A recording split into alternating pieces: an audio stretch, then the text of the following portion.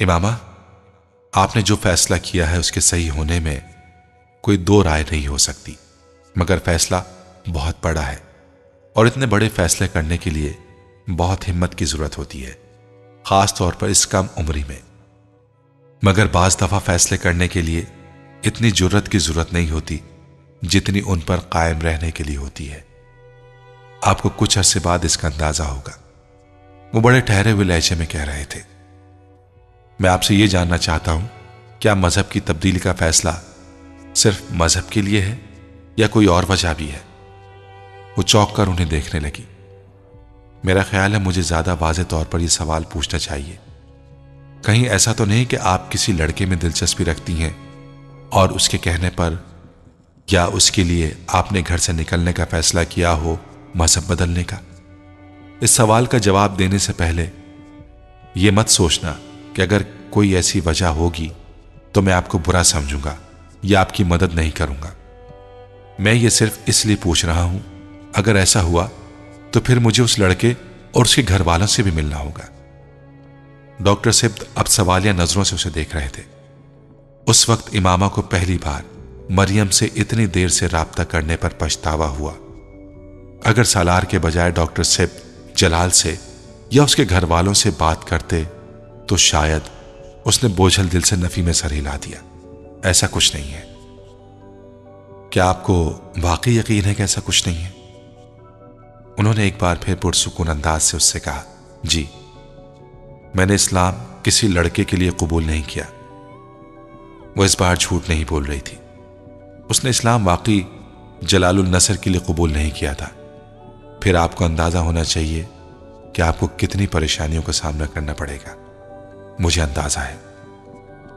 آپ کے والد ہاشم مبین صاحب سے میں واقف ہوں۔ جماعت کے بہت سرگرم اور بارسوخ لیڈر ہیں۔ اور آپ کا ان کے مذہب سے تائب ہو کر اس طرح گھر سے چلے آنا ان کے لیے ایک بہت بڑا دھچکا ہے۔ آپ کو ڈھونڈنے اور واپس لے جانے کے لیے وہ زمین آسمان ایک کر دیں گے۔ مگر میں کسی قیمت پر واپس نہیں جاؤں گی۔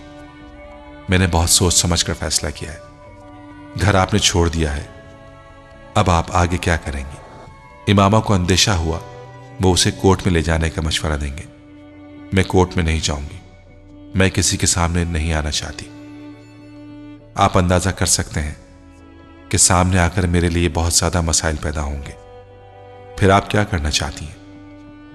انہوں نے بغور اسے دیکھتے ہوئے پوچھا، سامنے نہ آنے کا مطلب یہ ہے کہ آپ میڈیکل کالج میں اپنی اسٹڈیز جاری نہیں رکھ سکیں گی۔ میں جانتی ہوں۔ اس نے چائے کا کپ رکھتے ہوئے افسردگی سے کہا، میں ویسے بھی خود تو میڈیکل کی تعلیم افورڈ بھی نہیں کر سکتی۔ اور اگر کسی دوسرے میڈیکل کالج میں، کسی دوسرے شہر یا صوبے میں آپ کی مائگریشن کروا دی جائے تو نہیں، وہ مجھے ڈھونڈ لیں گے۔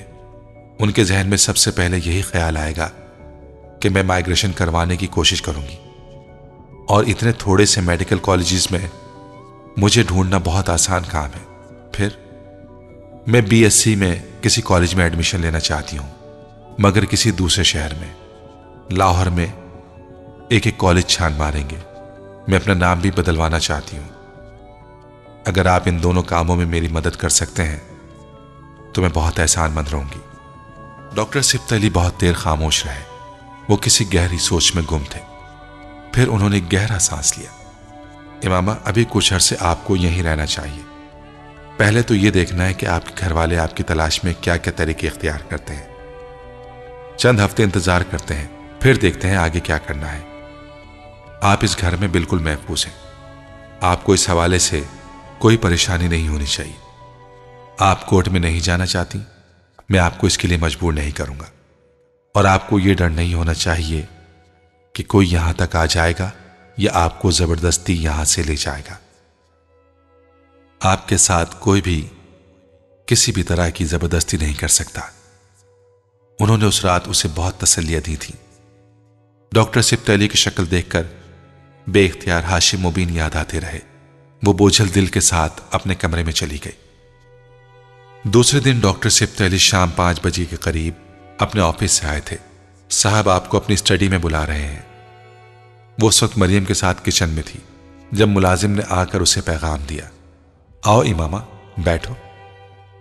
اسٹڈی کے دروازے پر دستک دے کر اندر داخل ہونے پر ڈاکٹر سفت علی نے اس سے کہا، وہ اپنی ٹیبل کی ایک دراز سے کچھ پیپرز نکال رہے تھے۔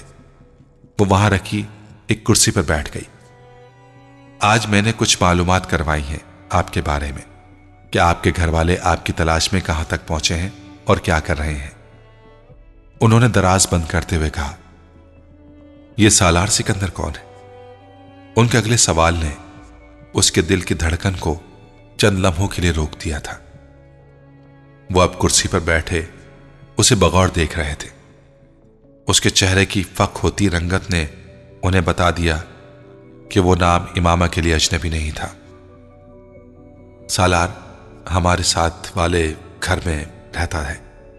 اس نے ٹکتے ہوئے کہا، اس نے میری بہت مدد کی ہے گھر سے نکلنے میں۔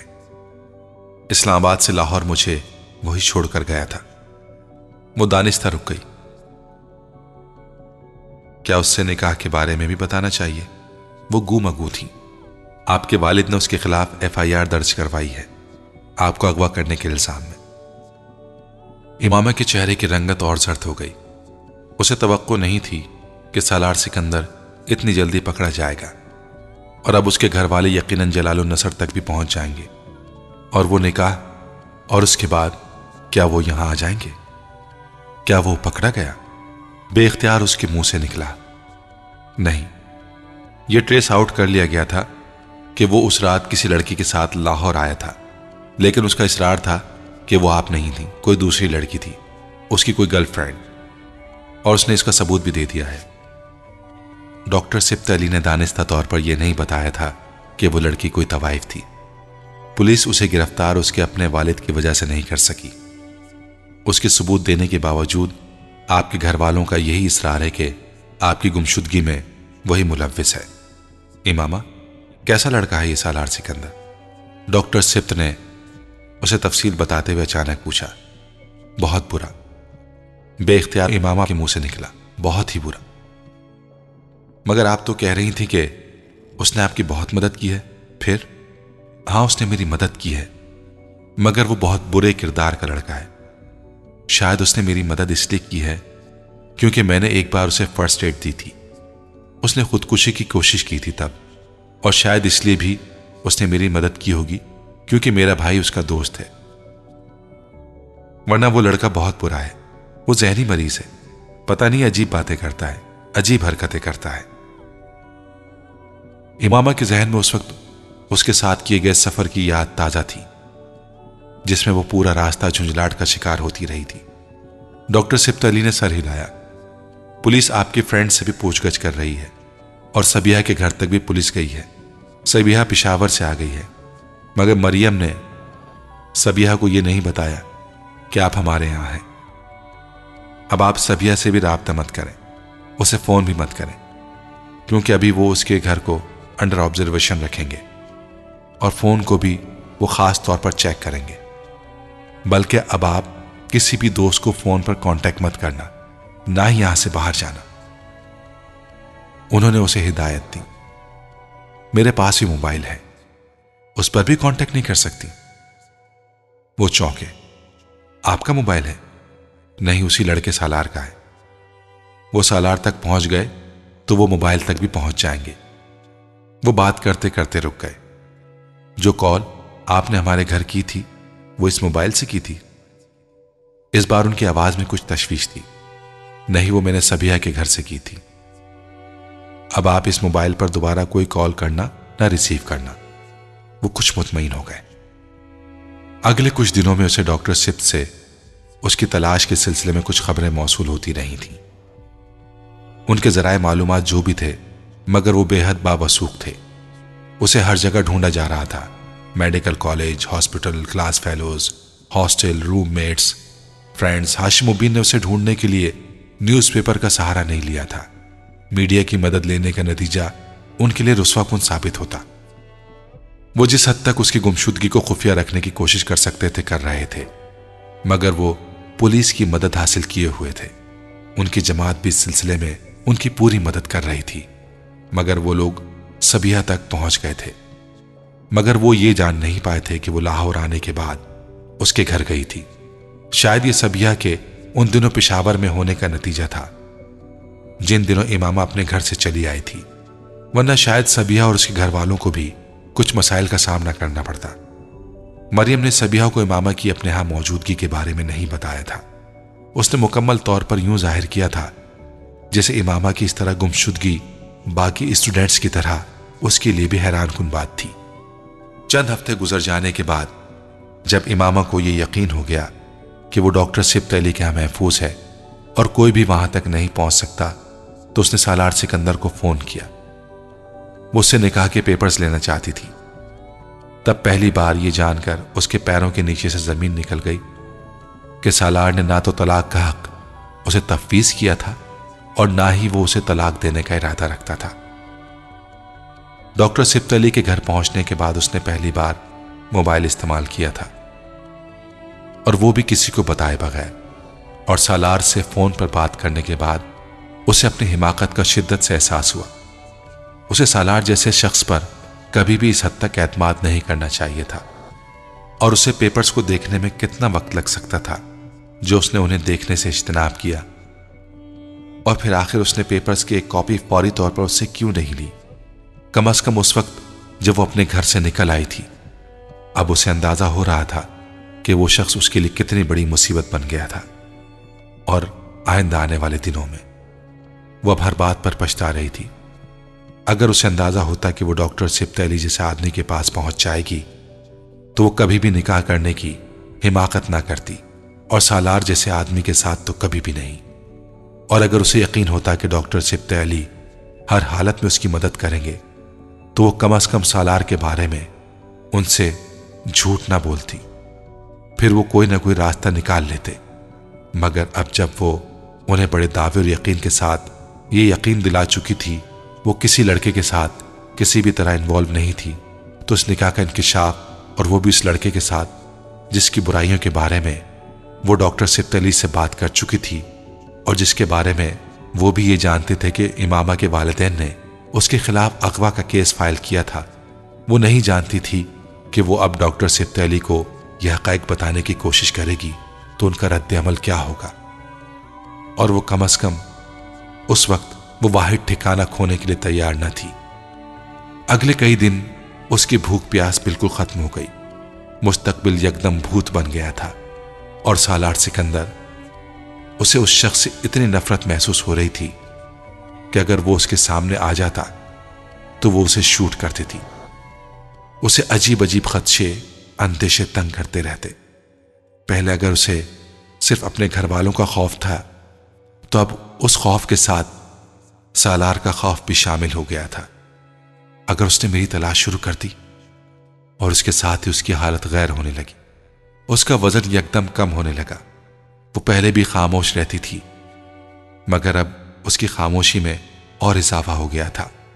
وہ شدید ذہنی دباؤ میں تھی اور یہ سب کچھ ڈاکٹر سبت علی اور اس کے گھر والوں سے پوشیدہ نہیں تھا۔ ان سب نے اس سے باری باری ان اچانک آنے والی تبدیلیوں کی وجہ جاننے کی کوشش کی۔ لیکن وہ انہیں ٹالتی رہی۔ تم پہلے بھی اداس اور پریشان لگی تھی مگر اب ایک دو ہفتے سے زیادہ پریشان لگتی ہو۔ کیا پریشانی ہے ماما؟ سب سے پہلے مریم نے اس سے اس بارے میں پوچھا۔ نہیں، کوئی پریشانی نہیں ہے۔ بس میں گھر کو مس کرتی ہوں۔ امامہ نے اسے مطمئن کرنے کی کوشش کی۔ نہیں، میں یہ مان نہیں سکتی۔ آخر اب اچانک اتنا کیوں محسوس کرنے لگی انہیں کہ کھانا پینا بھول گئی ہو؟ چہرہ زرد ہو گیا ہے۔ آنکھوں کے گد ہلکے پڑنے لگے ہیں اور وزن کم ہوتا جا رہا ہے۔ کیا تم بیمار ہونا چاہتی ہو؟ وہ مریم کی کہی ہوئی باتوں کو رد نہیں کر سکتی تھی۔ وہ جانتی تھی کہ اس کی ظاہری حالت دیکھ کر کوئی بھی اس کی پریشانی کا اندازہ بآسانی لگا سکتا ہے۔ اور شاید یہ اندازہ بھی کہ پریشانی کسی نئے مسئلے کا نتیجہ تھی، مگر وہ اس معاملے میں بے بس تھی۔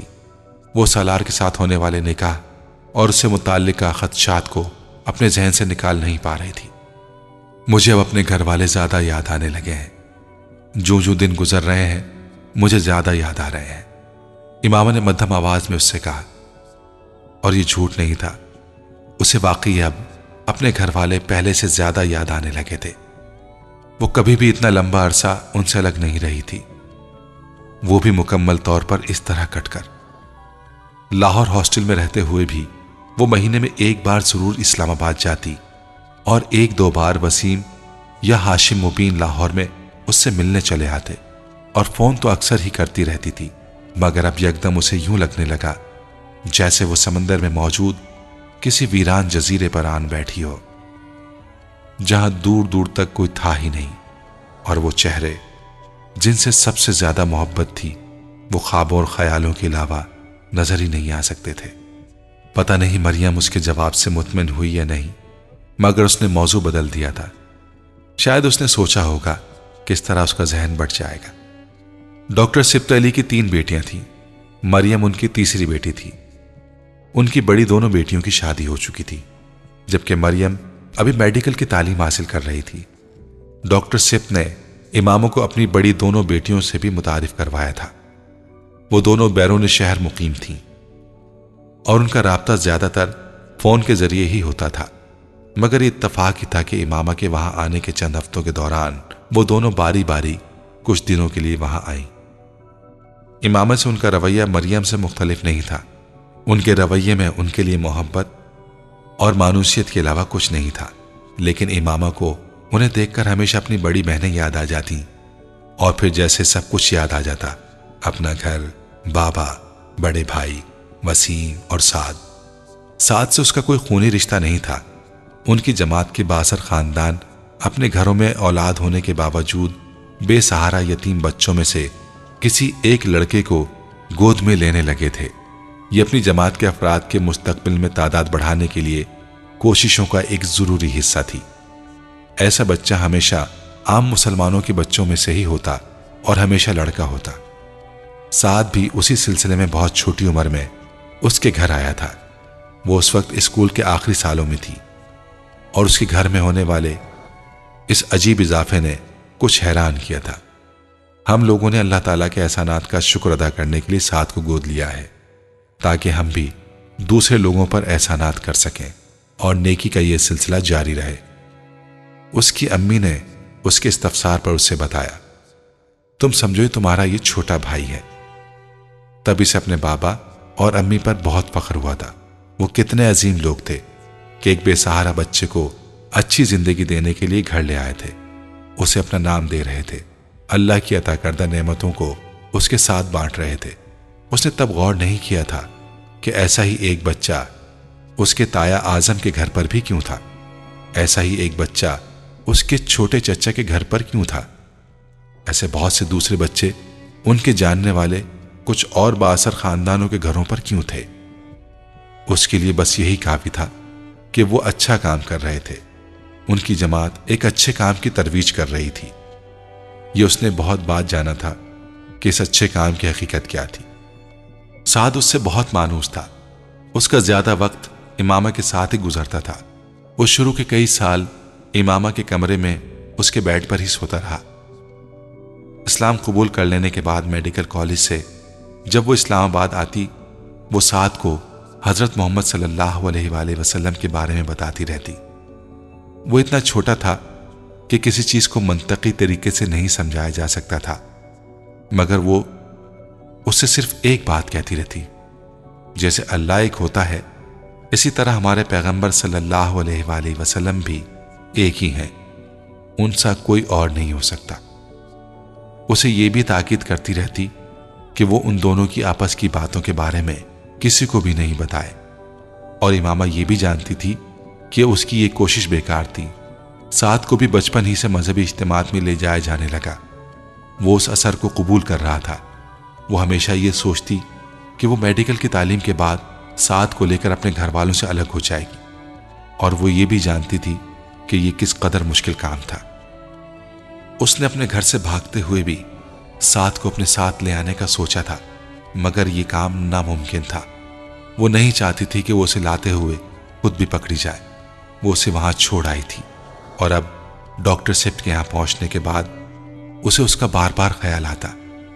اگر وہ کسی طرح اسے وہاں سے لے آتی تو وہ بھی اس دلدل سے نکل سکتا تھا۔ مگر ان تمام سوچوں، تمام خیالوں نے اپنے گھر والوں کے لیے اس کی محبت کو کم کیا۔ نہ اپنے گھر والوں کے لیے، نہ جلال النصر کے لیے۔ وہ ان کا خیال آنے پر رونا شروع ہوتی تو ساری رات روتی رہتی۔ شروع کے دنوں میں وہ ایک الگ کمرے میں تھی اور مریم کو اس کا اندازہ نہیں تھا، مگر ایک رات وہ اچانک اس کے کمرے میں اپنی کوئی کتاب لینے آئی۔ رات کے پچھلے پہر اسے قطن یہ اندازہ نہیں تھا کہ امامہ جاگ رہی ہوگی اور نہ صرف جاگ رہی تھی، بلکہ رو رہی ہوگی۔ امامہ کمرے کی لائٹ آف کیے بیڈ پر کمبل اوڑے رو رہی تھی۔ جب اچانک دروازہ کھلا تو اس نے کمبل سے چہرے کو ڈھانپ لیا۔ وہ نہیں جانتی تھی کہ مریم کو کیسے اس کے جاگنے کا اندازہ ہوا تھا۔ امامہ، جاگ رہی ہو؟ اس نے امامہ کو آواز دی۔ امامہ نے حرکت نہیں کی۔ مگر پھر بھی مریم اس کی طرف چلی آئی اور اس نے کمبل اس کے چہرے سے ہٹا دیا۔ میرے اللہ، تم تو رو رہی ہو اور اس وقت وہ اس کے پاس ہی تشویش کے عالم میں بیڈ پر بیٹھ گئی۔ امامہ کی آنکھیں بری طرح سوجی ہوئی تھی اس کا چہرہ آنسو سے بھیگا ہوا تھا، مگر اسے سب سے زیادہ ندامت پکڑے جانے کی تھی۔ اس لیے تمہیں راتوں کو نیند نہیں آتی، کیونکہ تم روتی رہتی ہو۔ اور صبح یہ کہہ دیتی ہو کہ رات کو سونے میں دقت ہوئی، اس لیے آنکھیں سوجی ہوئی ہیں۔ بس تم آج سے یہاں نہیں سو گی اٹھو میرے کمرے میں چلو۔ اس نے کچھ برہمی کے عالم میں اسے کھینچ کر اٹھایا۔ امامہ ایک لفظ نہیں بول سکی۔ وہ اس وقت بے حد شرمندہ تھی۔ مریم نے اس کے بعد اسے اپنے کمرے میں ہی سلانا شروع کر دیا۔ راتوں کو دیر تک رونے کا وہ سلسلہ ختم ہو گیا۔ مگر نیند پر اس کا اب بھی کوئی اختیار نہیں تھا۔ اسے نیند بہت دیر سے آتی تھی۔ کئی بار مریم کی عدم موجودگی میں اس کی میڈیکل کی کتابیں دیکھتی اور اس کا دل بھر آتا۔ وہ جانتی تھی کہ سب کچھ بہت پیچھے رہ گیا تھا۔ صبح مریم اور ڈاکٹر سپ کے گھر سے چلے جانے کے بعد وہ سارا دن آنٹی کے ساتھ گزار دیتی یا یہ شاید وہ سارا دن ان کے ساتھ رہنے کی کوشش کرتی تھی۔ وہ اسے اکیلا نہ رہنے دینے کی کوششیں مصروف رہتی تھیں، مگر ان کے ساتھ ہوتے ہوئے بھی وہ پتہ نہیں کن کن سوچوں میں ڈوبی رہتی تھی۔ اس نے سالار کے ساتھ دوبارہ رابطہ کرنے کی کوشش نہیں کی تھی۔ وہ جانتی تھی کہ اس کا کوئی فائدہ نہیں تھا۔ اس کی ذہنی پریشانی میں اضافے کے علاوہ اس رابطے سے اسے کچھ حاصل نہیں ہونے والا تھا۔ اسے ڈاکٹر سپ تیلی کے ہاں آئے ہوئے تین ماہ ہو گئے تھے۔ جب ایک دن انہوں نے رات کو اسے بلایا۔ آپ کو اپنا گھر چھوڑے کچھ وقت بیت گیا ہے۔ آپ کے گھر والوں نے آپ کی تلاش ابھی تک ختم تو نہیں کی ہوگی، مگر چند ماہ پہلے والی تند ہی وہ تیزی نہیں رہی ہوگی۔ اب میں جاننا چاہتا ہوں کہ اب آپ آگے کیا کرنا چاہتی ہیں۔ انہوں نے مختصر تمہید کے بعد کہا۔ میں نے آپ کو بتایا تھا میں اسٹڈیز جاری رکھنا چاہتی ہوں۔ وہ اس کی بات پر کچھ دیر خاموش رہے۔ پھر انہوں نے کہا، امامہ، آپ نے شادی کے بارے میں کیا سوچا ہے؟ وہ ان سے اس سوال کی توقع نہیں کر رہی تھی۔ شادی؟ کیا مطلب؟ وہ بے اختیار ہکلائی آپ جن حالات سے گزر رہی ہیں، ان میں سے آپ کے لیے سب سے بہترین راستہ شادی ہی ہے۔ کسی اچھی فیملی میں شادی ہو جانے سے آپ اس عدم تحفظ کا شکار نہیں رہیں گی، جس کا شکار ابھی آپ ہیں۔ میں چند اچھے لڑکوں اور فیملیز کو جانتا ہوں۔ میں چاہتا ہوں ان میں سے کسی کے ساتھ آپ کی شادی کر دی جائے۔ وہ بالکل سفید چہرے کے ساتھ انہیں چپ چاپ دیکھتی رہی۔ وہ ان کے پاس آنے سے بہت پہلے اپنے لیے اسی حل کو منتخب کر چکی تھی۔ اور اسی ایک حل کو ڈھونڈتے ڈھونڈتے وہ سالار سکندر سے نکاح کی حماقت کر چکی تھی۔ اس وقت اگر وہ سالار سکندر سے نکاح نہ کر چکی ہوتی تو بلا ہیل و حجت ڈاکٹر سپت علی کی بات ماننے پر تیار ہو جاتی۔ مگر وہ جانتی تھی کہ ان حالات میں کسی اچھی فیملی میں شادی اسے کتنی اور کن مصیبتوں سے بچا سکتی تھی۔ اس نے آج تک کبھی خود مختار زندگی نہیں گزاری تھی۔ وہ ہر چیز کے لیے اپنی فیملی کی محتاج رہی تھی اور وہ یہ تصور کرتے ہوئے بھی خوف زدہ ہی رہتی تھی کہ آخر وہ کب اور کس طرح اپنے بلبوتے پر زندگی گزار سکے گی۔ مگر سالار سے وہ نکاح اس کے گلے کی ایسی ہڈی بن گیا تھا جسے وہ نہ نگل سکتی تھی اور نہ اگل سکتی تھی۔ نہیں میں شادی نہیں کرنا چاہتی۔ کیوں؟ اس کے پاس اس سوال کا جواب موجود تھا، مگر حقیقت بتانے کے لیے حوصلہ نہیں تھا۔ ڈاکٹر سپت علی اس کے بارے میں کیا سوچتے؟ یہ کہ وہ ایک جھوٹی لڑکی ہے جو اب تک انہیں دھوکہ دیتے ہوئے ان کے پاس رہ رہی تھی۔ یا یہ کہ شاید وہ سالار سے شادی کے لیے ہی اپنے گھر سے نکلی تھی اور باقی سب کچھ کے بارے میں جھوٹ بول رہی تھی۔ اور اگر انہوں نے حقیقت جان لینے پر اس کی مدد سے معذت کر لی یا اسے گھر چلے جانے کا کہا، اور اگر انہوں نے اس کے والدین سے رابطہ کرنے کی کوشش کی تو وہ تین ماہ سے ڈاکٹر سبت علی کے پاس تھی۔ وہ کتنے اچھے تھے، وہ بخوبی جانتی تھی، لیکن وہ اس قدر خوفزدہ اور محتاط تھی کہ وہ کسی قسم کا رسک لینے پر تیار نہ تھی۔ میں پہلے اپنی تعلیم مکمل کرنا چاہتی ہوں تاکہ کسی پر بوجھ نہ بنوں۔ کسی پر بھی۔ شادی کر لینے کی صورت میں اگر مجھے بعد میں کسی بھی پریشانی کا سامنا کرنا پڑا تو میں کیا کروں گی؟ اس وقت تو میرے لیے شاید تعلیم حاصل کرنا بھی ممکن نہیں رہے گا۔ اس نے ایک لمبی خاموشی کے بعد جیسے کسی فیصلے پر پہنچتے ہوئے ڈاکٹر سبت علی سے کہا، امامہ ہم ہمیشہ آپ کی مدد کرنے کے لیے موجود رہیں گے۔ آپ کی شادی کر دینے کا مطلب یہ نہیں ہوگا کہ میرے گھر سے آپ کا تعلق ختم ہو جائے گا یا میں آپ سے جان چھڑانا چاہتا ہوں۔ آپ میرے لیے میری چوتھی بیٹی ہیں۔ امامہ کی آنکھوں میں آنسو آ گئے۔ میں آپ پر کوئی دباؤ نہیں ڈالوں گا۔ جو آپ چاہیں گے وہی ہوگا۔ یہ صرف میری ایک تجویز تھی۔ ڈاکٹر سب علی نے کہا، کچھ سال گزر جانے دیں، اس کے بعد میں شادی کر لوں گی۔ جہاں بھی آپ کہیں گے۔ اس نے ڈاکٹر سب علی سے کہا، مگر ابھی فوری طور پر نہیں۔ ابھی مجھے سالار سکندر سے جان چھڑانی ہے۔ اسے طلاق لینے کا کوئی راستہ تلاش کرنا ہے۔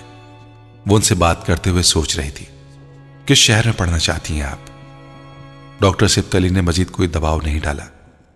کسی بھی شہر میں میری کوئی ترجیح نہیں ہے۔ اس نے ان سے کہا، وہ اپنے گھر سے آتے ہوئے اپنے سارے ڈاکومنٹس، اپنے پاس موجود زیورات اور رقم بھی لے آئی تھی۔ جب ڈاکٹر سبت علی نے اس گفتگو کے چند دن بعد اسے بلا کر ملتان میں اس کے ایڈمیشن کے فیصلے کے بارے میں بتانے کے ساتھ اس کے ڈاکومنٹس کے بارے میں پوچھا، تو وہ اس بیگ کو لے کر ان کے پاس چلی آئی۔ اس نے ڈاکومنٹس کا ایک لفافہ نکال کر انہیں دیا، پھر زیورات کا لفافہ نکال کر ان کی بیس پر رکھ دیا۔ میں یہ زیورات اپنے گھر سے لائی ہوں۔ یہ بہت زیادہ تو نہیں ہے، مگر پھر بھی اتنے ہیں کہ میں نے بیچ کر کچھ عرصے آسانی سے اپنی تعلیم کے اخراجات اٹھا سکتی ہوں۔ نہیں، یہ زیورات بیچنے کی ضرورت نہیں ہے۔ یہ آپ کی شادی کے کام آئیں گے۔ جہاں تک تعلیمی اخراجات کا تعلق ہے، تو آپ کو پتا ہونا چاہیے کہ آپ میری ذمہ داری ہیں۔ آپ کو اس سلسلے میں پریشان ہونے کی ضرورت نہیں ہے۔ وہ بات کرتے کرتے چونکے۔ ان کی نظر اس ٹیبل پر رکھے چھوٹے سے کھلے بیگ کے اندر تھی۔ امامہ نے ان کی نظروں کا تعقب کیا۔ وہ بیگ میں نظر آنے والے چھوٹے سے پستول کو دیکھ رہے تھے۔ امامہ نے قدر شرمندگی کے عالم میں اس پسٹل کو بھی نکال کر ٹیبل پر رکھ دیا۔ یہ میرا پسٹل ہے۔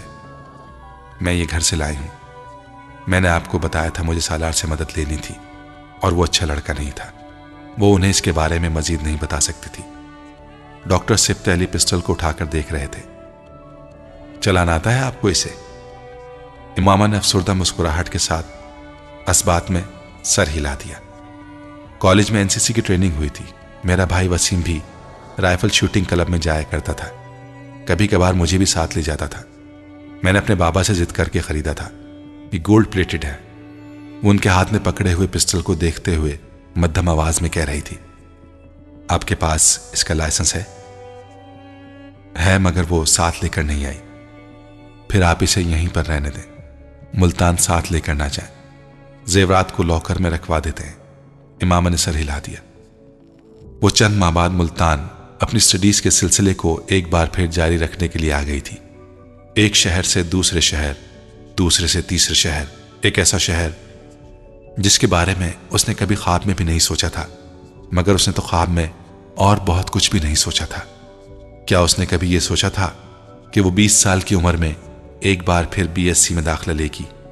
اس عمر میں جب لڑکیاں بی ایس سی کر چکی ہوتی ہیں، کیا اس نے کبھی یہ سوچا تھا کہ وہ اپنی مرضی سے میڈیکل کالج چھوڑ دے گی۔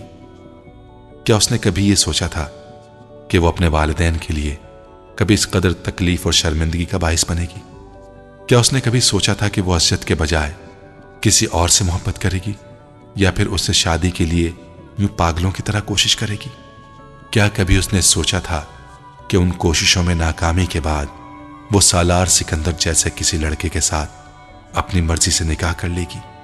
اور کیا اس نے یہ سوچا تھا کہ ایک بار گھر سے نکل جانے کے بعد اسے ڈاکٹر سب تیلی کے گھرانے جیسا گھر مل سکے گا؟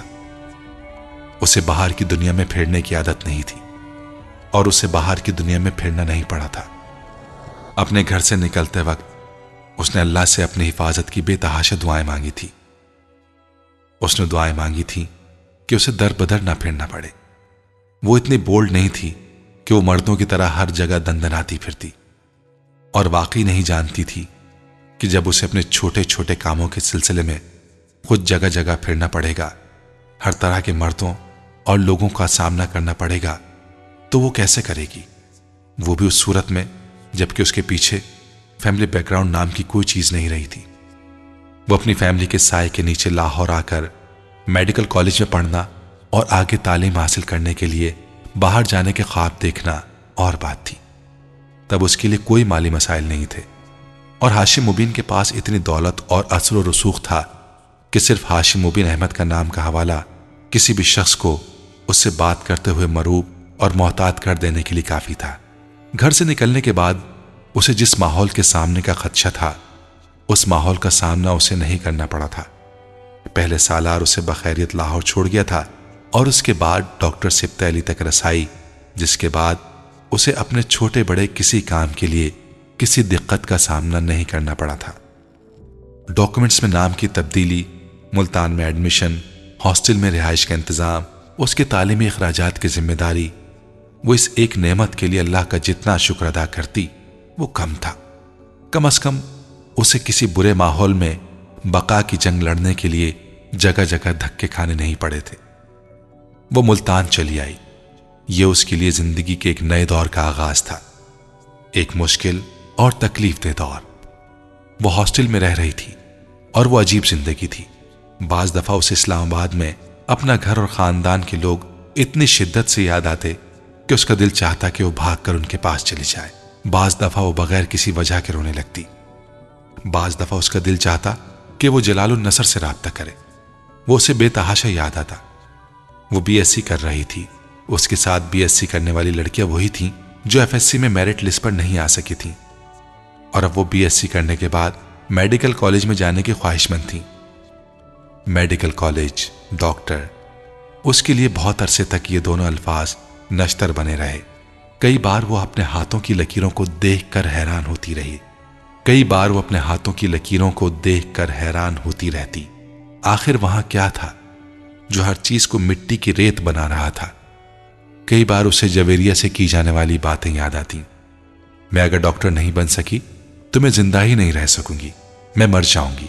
وہ حیران تھی۔ وہ مری تو نہیں تھی۔ اس طرح زندہ تھی۔ پاکستان کی سب سے مشہور آئی اسپیشلسٹ سب کچھ خواب ہی رہا تھا۔ جو ہر چیز اس کے پاس تھی، وہ ہر چیز اس سے دور تھی۔ اس کے پاس گھر نہیں تھا۔ اس کے پاس گھر والے نہیں تھے۔ اس کے پاس اشد نہیں تھا۔ میڈیکل کی تعلیم نہیں تھی۔ جلال بھی نہیں تھا۔ وہ زندگی کی ان آسائشوں سے ایک ہی جھٹکے میں محروم ہو گئی تھی، جن کی وہ عادی تھی۔ اور اس کے باوجود وہ زندہ تھی۔ امامہ کو کبھی اندازہ نہیں تھا کہ وہ اس قدر بہادر تھی یا کبھی ہو سکتی تھی، مگر وہ ہو گئی تھی۔ وقت گزرنے کے ساتھ ساتھ اس کی تکلیف میں کمی آنا شروع ہو گئی تھی۔ یوں جیسے اسے صبر آ رہا تھا۔ اللہ کے بعد شاید زمین پر یہ ڈاکٹر سبت علی تھے، جس کی وجہ سے وہ آہستہ آہستہ سنبھلنے لگی تھی مہینے میں ایک بار ویکینڈ پر وہ ان کے پاس لاہور آتی۔ وہ وقتاً فوقتاً اسے ہاسٹل فون کرتے رہتے، اسے کچھ نہ کچھ بھجواتے رہتے۔ ان کی بیٹیاں اور بیوی بھی اس کا بہت خیال رکھتے تھے۔ وہ ان کے نزدیک ان کے ایک گھر کا فرد بن چکی تھی۔ اگر یہ لوگ نہ ہوتے، تو میرا کیا ہوتا؟ وہ کئی بار سوچتی۔ ملتان میں اپنے قیام کے دوران بھی اس نے سالار کو کبھی اپنے ذہن سے فراموش نہیں کیا تھا۔ تعلیم کا سلسلہ باقاعدہ طور پر شروع کرنے کے بعد وہ ایک بار اس سے رابطہ کرنا چاہتی تھی۔ اور اگر وہ پھر اسے طلاق دینے سے انکار کر دیتا، تو وہ بلاخر ڈاکٹر سیب تیلی کو اس تمام معاملے کے بارے میں بتا دینا چاہتی تھی۔ اور سالار سے رابطہ اس نے بی ایس سی کے امتحانات سے فارغ ہونے کے بعد لاہور آنے سے پہلے کیا۔ اس کے پاس موجود سالار کے موبائل کا استعمال وہ بہت پہلے ترک کر چکی تھی۔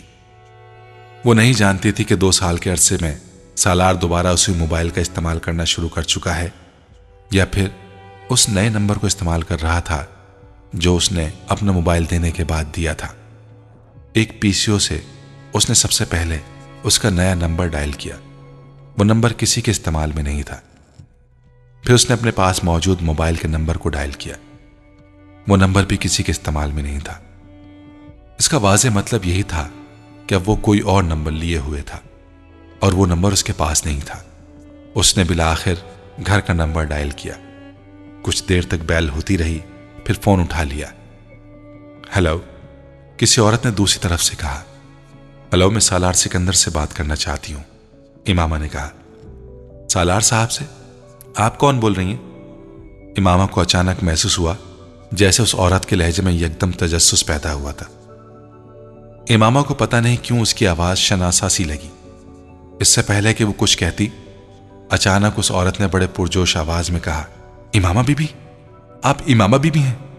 ایک کرنٹ کھا کر امامہ نے بے اختیار کریڈل دبا دیا۔ وہ کون تھی جس نے صرف آواز سے پہچان لیا تھا؟ اتنے سالوں بعد بھی۔ اور اتنی جلدی؟ وہ بھی سالار سکندر کے گھر پر۔ کچھ دیر اس کے ہاتھ کانپتے رہے۔ وہ پیسیو کے اندر والے کیبن میں تھی اور کچھ دیر ریسیور اسی طرح ہاتھ میں لیے بیٹھی رہی۔ جو بھی ہو، مجھے ڈرنے کی ضرورت نہیں۔ میں اسلام آباد سے اتنی دور ہوں کہ یہاں مجھ تک کوئی نہیں پہنچ سکتا۔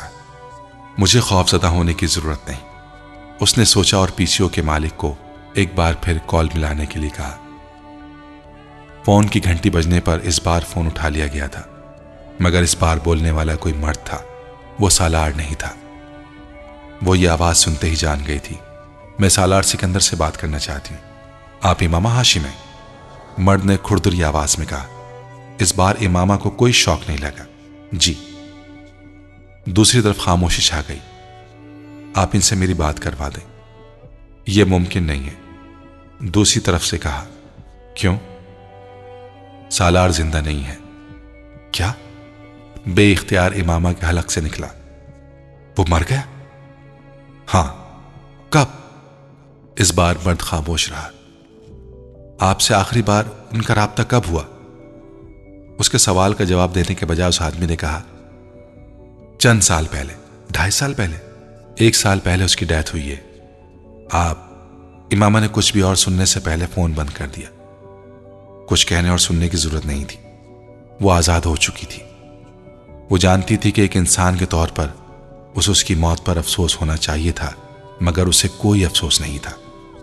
اگر اس نے اس طرح سے اسے طلاق دینے سے انکار نہ کیا ہوتا، تو یقیناً اس کے لیے دکھ محسوس کرتی۔ مگر اس وقت ڈھائی سال کے بعد اسے بے اختیار سکون اور خوشی کا احساس ہو رہا تھا۔ وہ تلوار جو اس کے سر لٹکی ہوئی تھی، وہ غائب ہو چکی تھی۔ اسے اب ڈاکٹر سبت علی کو کچھ بتانے کی ضرورت نہیں تھی۔ وہ صحیح معنوں میں آزاد ہو چکی تھی۔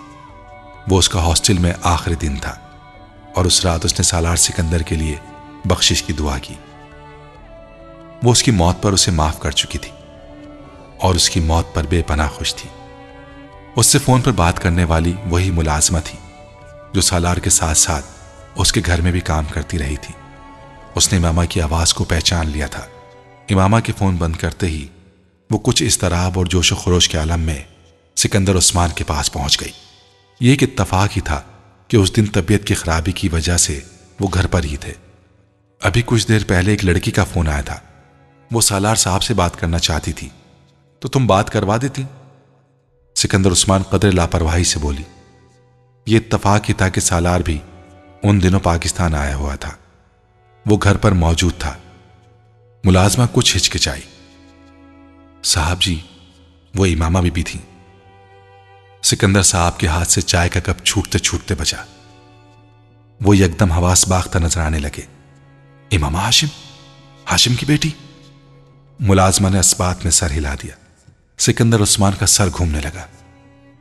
تو کیا سالار ہر ایک کو بے وقوف بنا رہا ہے؟ وہ ابھی تک امامہ کے ساتھ رابطے میں ہے اور وہ جانتا ہے وہ کہاں ہے۔ تو پھر یقیناً وہ اس سے ملتا بھی رہا ہوگا۔ اس نے بے اختیار سوچا۔ اس نے تمہیں خود اپنا نام بتایا۔ انہوں نے چائے کا کپ ایک طرف رکھتے ہوئے کہا، نہیں، میں نے ان کی آواز پہچان لی۔ اور جب میں نے ان کا نام لیا، انہوں نے فون بند کر دیا۔ ملازمہ نے سکندر عثمان کو بتایا۔ مگر مجھے یقین ہے، وہ انہی کی آواز تھی۔ مجھے کم از کم اس بارے میں کوئی دھوکہ نہیں ہو سکتا۔ اس سے پہلے کہ سکندر عثمان کچھ کہتے انہوں نے فون کی گھنٹی سنی، مگر اس بار ڈرائنگ روم میں موجود ایکسٹینشن کی طرف پڑ گئے اور انہوں نے فون اٹھا لیا۔ دوسری طرف موجود لڑکی ایک بار پھر سالار سکندر کا پوچھ رہی تھی۔ ان کے استفسار پر اس نے یہ تسلیم کر لیا تھا کہ وہ امامہ ہاشمی تھی۔ وہ نہیں جانتے تھے کیوں، مگر بے اختیار ان کے دل میں آیا کہ وہ سالار کے مرنے کی خبر دے دیں، تاکہ وہ دوبارہ کبھی ان کے گھر فون نہ کرے۔ انہیں اس سے بات کر کے یہ اندازہ تو ہو ہی چکا تھا۔ وہ بہت عرصے سے سالار کے ساتھ رابطہ نہیں کر سکی ہے۔ اور اس کے پاس اس کے بیان کی صداقت کو پرکھنے کا کوئی ذریعہ نہیں تھا۔ وہ دوبارہ رابطہ نہ کرتی تو ان کی جان اس سے ہمیشہ چھوٹ سکتی تھی۔ وہ ابھی تک اس ایک سال کو اپنے ذہن سے نہیں نکال سکے تھے۔ جب امامہ کی گمشدگی کے فوراً بعد سالار پر شبہ ہونے کی وجہ سے ہاشم مبین نے ان کے لیے ہر قسم کی پریشانی کھڑی کر دی تھی۔ بہت سے سرکاری دفاتر جہاں پہلے ان کی فرم کی فائلز بہت آسانی سے نکل جاتی تھیں، مہینوں پھنسی رہیں۔ ان کے گرد اور ان کے گھر دھمکی آویز خط اور کالز آتے رہے۔ کئی لوگوں نے بلا واسطہ طور پر ان پر دباؤ ڈالا کہ ہاشم مبین احمد کی بیٹی کی واپسی کے لیے ان کی مدد کریں۔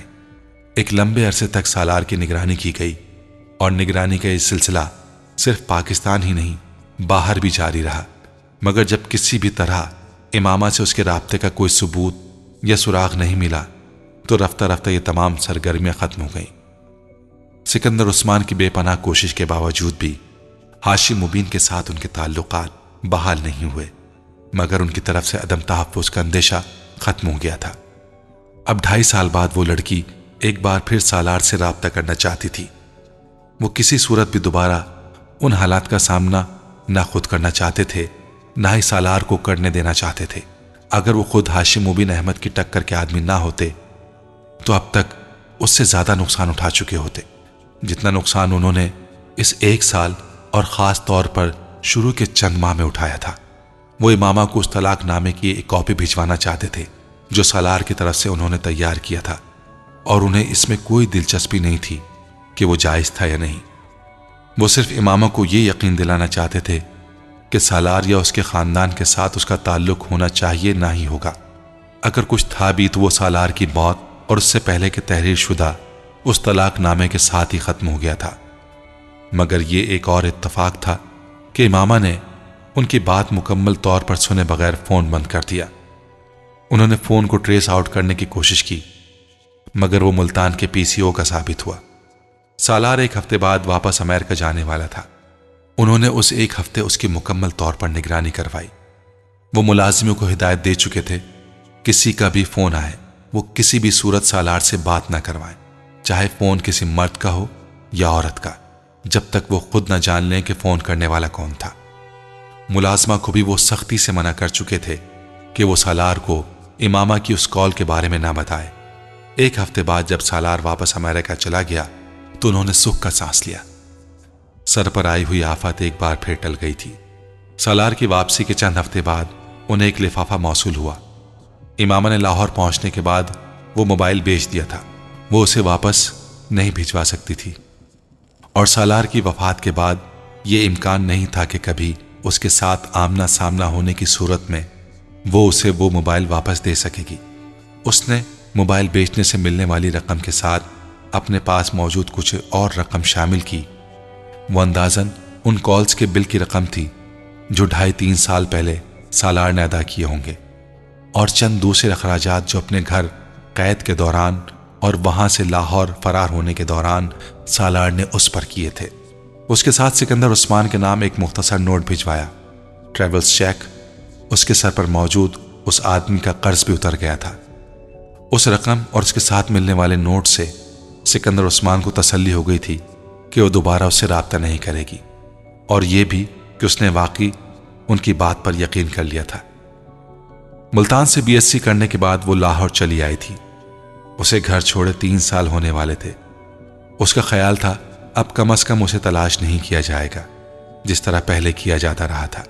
اب اگر کیا بھی گیا، تو صرف میڈیکل کالج پر نظر رکھی جائے گی۔ اس کا یہ اندازہ صحیح ثابت ہوا۔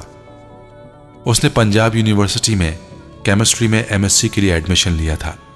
اتنا عرصہ گزر جانے کے بعد بھی وہ بے حد محتاط تھی۔ یہ لاہور تھا۔ یہاں کسی وقت کوئی بھی اسے پہچان سکتا تھا۔ مگر ملتان میں وہ صرف چادر اوڑھ کر کالج جاتی تھی۔ لاہور میں اس نے نقاب لگانا شروع کر دیا۔ لاہور میں دوبارہ واپسی کے بعد وہ ڈاکٹر سبت علی کے ساتھ نہیں رہ رہی تھی۔ وہ سعیدہ اماں کے پاس رہنے لگی تھی۔ سعیدہ اماں سے اس کی پہلی ملاقات ڈاکٹر سبت علی نے ملتان جانے سے پہلے لاہور میں کروائی تھی۔ سعیدہ اماں کے بہت سے عزیز و قارب ملتان میں رہتے تھے۔ ڈاکٹر سبت علی اماموں کو ان سے آگاہ کرنا چاہتے تھے تاکہ ملتان میں قیام کے دوران کسی بھی ضرورت یا ایمرجنسی میں وہ ان کی مدد لے سکے۔ سعید اماں ایک پینسٹھ ستر سالہ بے حد باتونی اور ایکٹیو عورت تھی۔ وہ لاہور کے اندر شہر میں ایک پرانی حویلی میں تنہا رہتی تھی۔ ان کے شوہر کا انتقال ہو چکا تھا۔ جبکہ دو بیٹے بیرون ملک تعلیم حاصل کرنے کے بعد وہیں مقیم تھے۔ وہ دونوں شادی شدہ تھے۔ ان کے بے حد اصرار کے باوجود سعیدہ اماں باہر جانے پر تیار نہ تھیں۔ ان کے دونوں بیٹے باری باری ہر سال پاکستان آیا کرتے اور کچھ عرصہ قیام کے بعد واپس چلے جاتے تھے۔ ڈاکٹر سبت علی سے ان کی قرابت داری تھی۔ وہ ان کے کزن ہوتے تھے۔ ڈاکٹر سبت علی نے امامہ کے بارے میں پہلے ہی سعیدہ اماں کو بتا دیا تھا۔ اس لیے جب وہ ان کے ساتھ ان کے گھر پہنچی تو وہ بڑی گرم جوشی سے اس سے ملی تھی انہوں نے ملتان میں موجود تقریباً اپنے ہر رشتہ دار کے بارے میں تفصیلات اس کی گوش گزار کر دی تھی پھر شاید اس سب کو ناکافی جانتے ہوئے انہوں نے خود ساتھ چل کر اسے ہاسٹل چھوڑانے کی آفر کی، جسے ڈاکٹر سپتیلی نے نرمی سے رد کر دیا تھا۔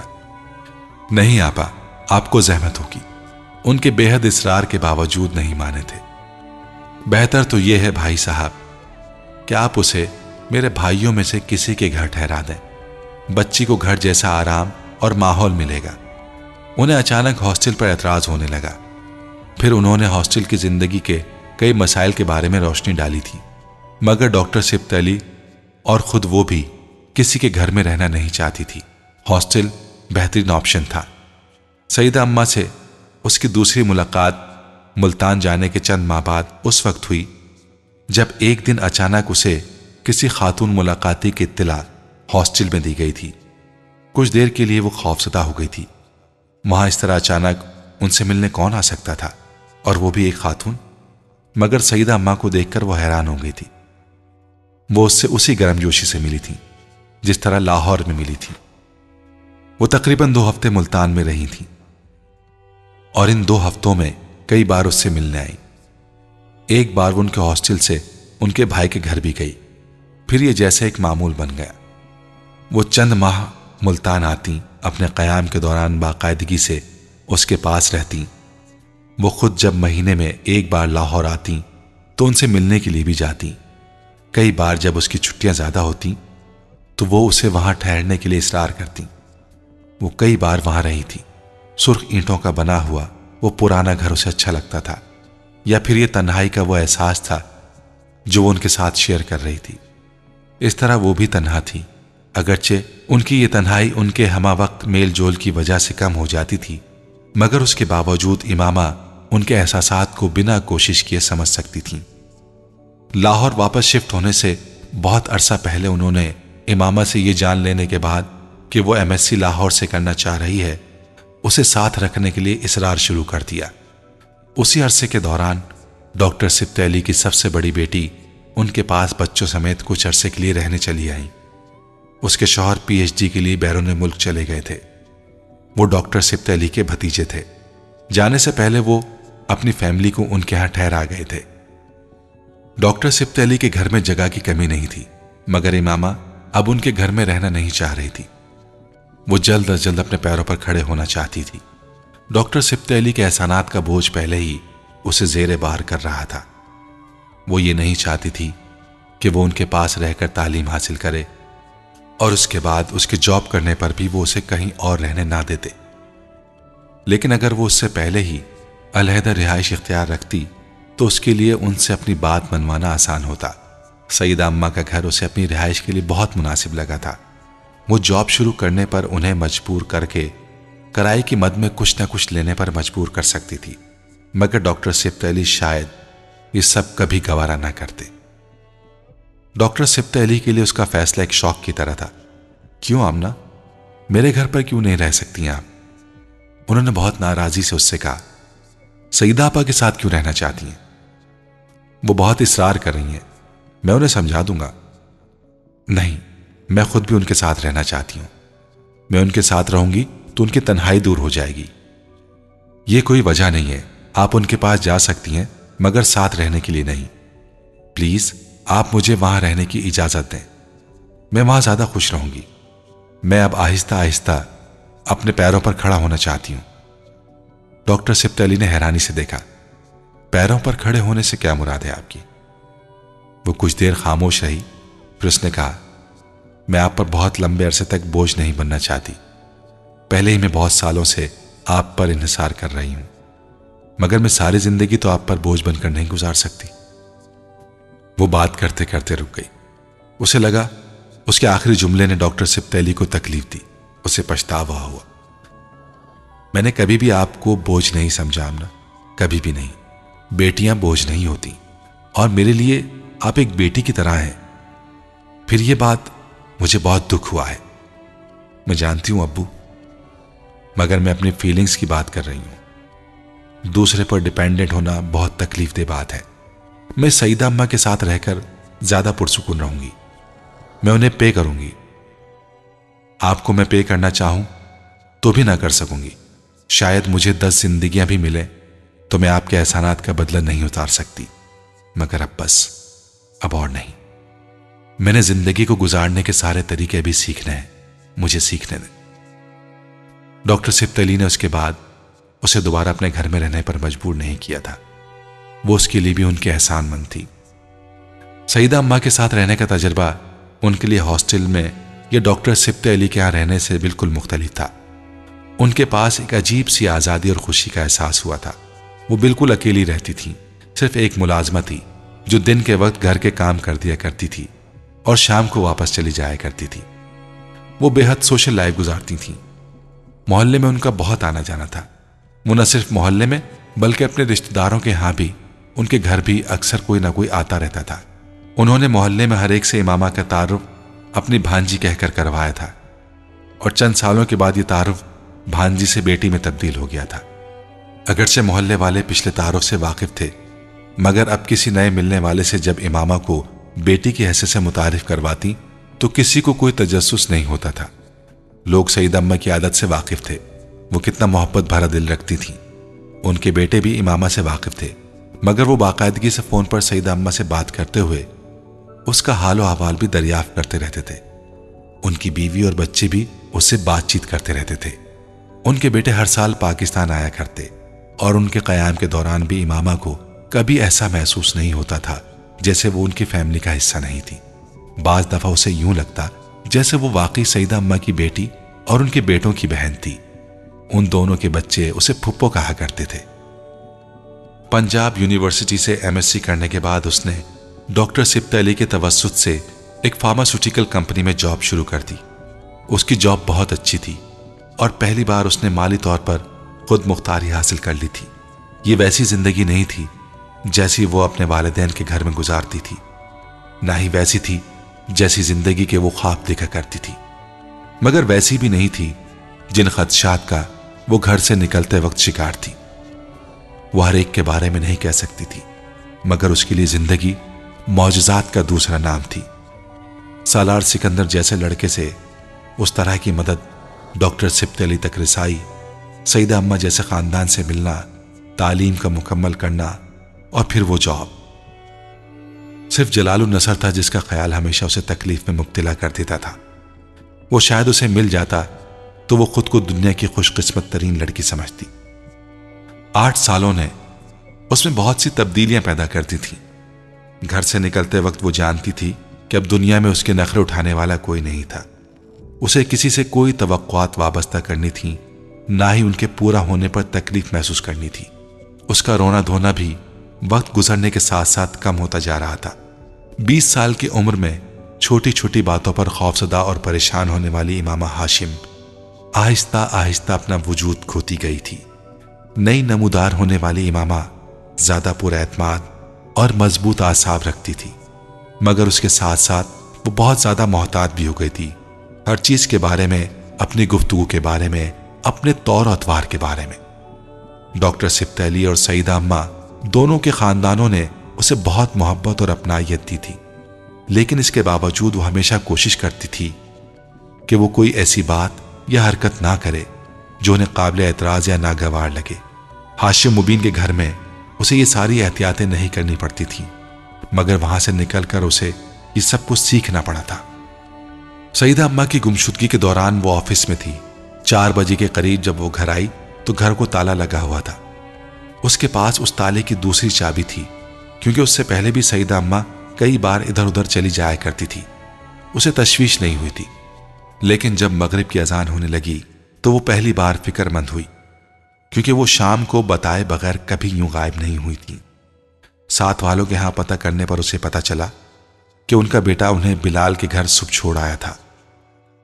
سعید اماں پہلے بھی اکثر وہاں آتی جاتی رہتی تھی اس لیے امامہ ان لوگوں کو اچھی طرح جانتی تھی اس نے وہاں فون کیا تو اسے پتا چلا کہ وہ دوپہر کو وہاں سے جا چکی تھی اور تب پہلی بار اسے صحیح معنوں میں تشویش ہونے لگی۔